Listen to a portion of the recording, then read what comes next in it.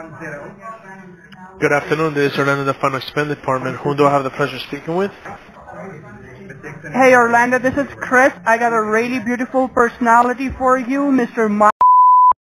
And he's from the great state of Florida. He is 64 years old, 6'4", 64. And uh, we did confirm with him that he do have an active bank account, right? Mr. Yes, I do. Great. So, uh, Mr. Cole, this is your license state and writer, Mr. Orlando Mayorga, and he will be the one who will be assisting you today further regarding your final expense insurance plan. So, Orlando, I'm leaving Mr. in your very good hands so you can assist him further regarding his final expense insurance plan. You both have a great day, Orlando. You may take over the call now. Thank you. Thank you. Hey, Mr. how you doing this afternoon, sir? Fine, thank you. How are you? I'm doing well. Thank you for asking. Uh, once again, my name is Orlando Mayorga, and I'll be assisting you today.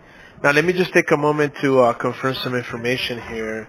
Now, you indicated to my assistant that um, that you're and that's in O'Brien, Florida, 32071. Is that all correct? Correct. Okay. I have your date of birth. I'm sorry? Yeah, that's correct. Okay, thank you, sir. I have your date of birth as 5, so that makes you 64 years young. Is that all correct? Correct. Okay. And I have here the amount of insurance that you're looking for is 10000 and um, you want your daughter to be the beneficiary. Is that all correct? Correct. Yes. Okay, very well. Thank you so much for uh, verifying that information, um, Mr. Corn. Let me explain to you usually why folks reach out to us or why we, why we reach out to them is for one of three reasons.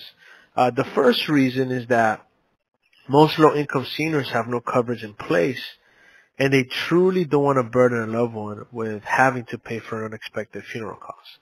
And the second reason is that for some seniors, they have started on the path of planning by either having some insurance or buying a plot, but they realize one thing, that they could use a little bit more money to cover the costs.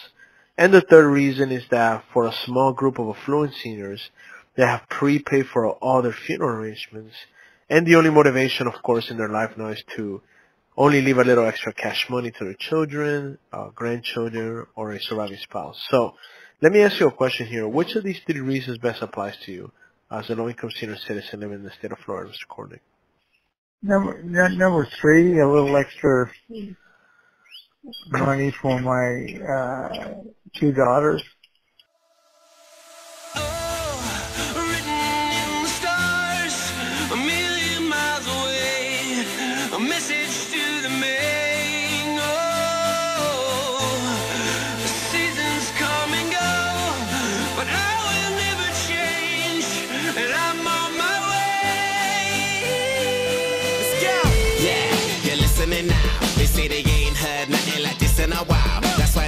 song on so many different dials. Cause I got more hits than a disciplined child. So when they see me, everybody barack, baracks. Man, I'm like a young gun, fully black, barack.